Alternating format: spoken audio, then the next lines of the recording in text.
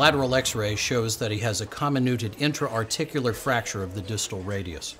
The dorsal rim and carpus are displaced, both dorsally and proximally. Give him some pain medication until we can get the orthopedic down here to cast it. Thank you. Did you understand any of that? A 12 year old boy came in after falling off his skateboard. In simple terms, he fractured his wrist. But here, medical professionals have to be very clear when discussing the location of damage or disorder to the body or organs. A standard language is used that describes the exact body structure and location, sort of like a roadmap. Here, let's take a look.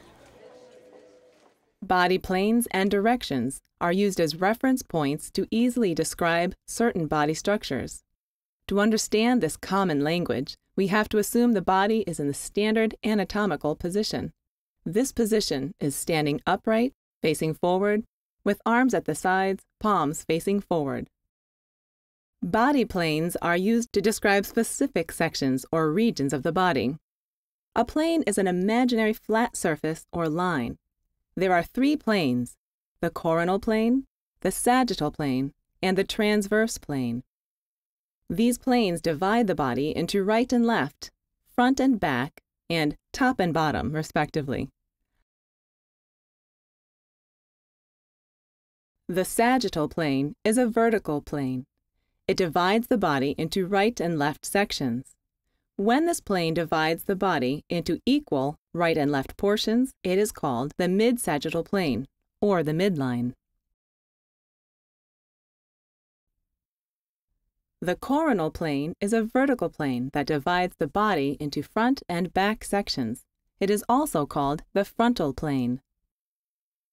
The horizontal or transverse plane divides the body into top and bottom sections. Now, let's take a look at body directions. Directional terms describe the positions of structures relative to other structures or locations in the body. They are grouped in pairs of opposites. Let's start with an easy one superior and inferior. Think of the head as the superior part of your body. So, superior means upper or above, while inferior means lower or below. Your shoulder is superior to your elbow. Anterior and posterior refer to front and back. Anterior or ventral means toward the front of the body.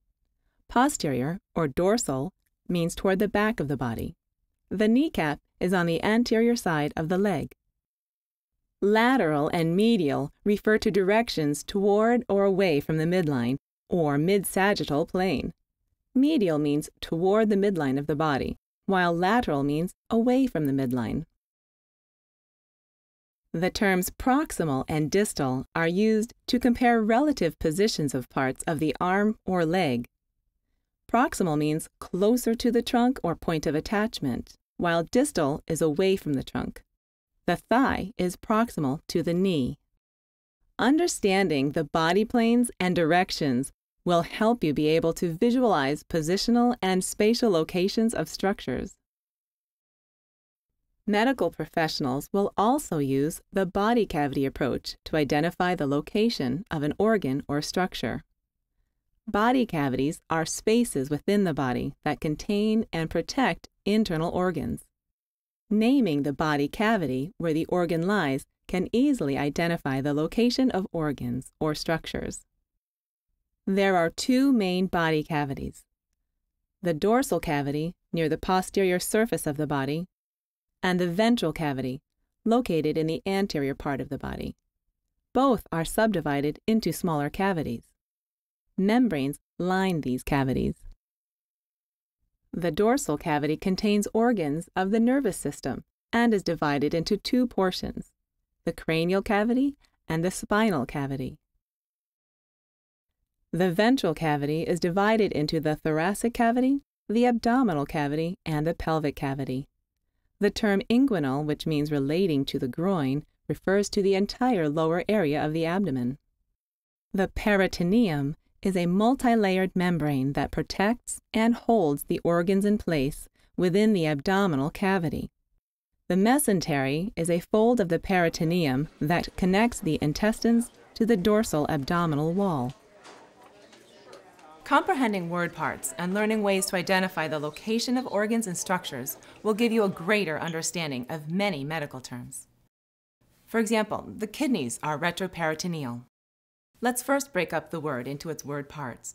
Retro means behind, peritone means peritoneum, and eel means pertaining to. Just by breaking the word into its parts, we know the kidneys are located behind the peritoneum. If you remember that the peritoneum lines the abdominal cavity, then you have a good idea of where the kidneys are located in the body. Now let's test your knowledge.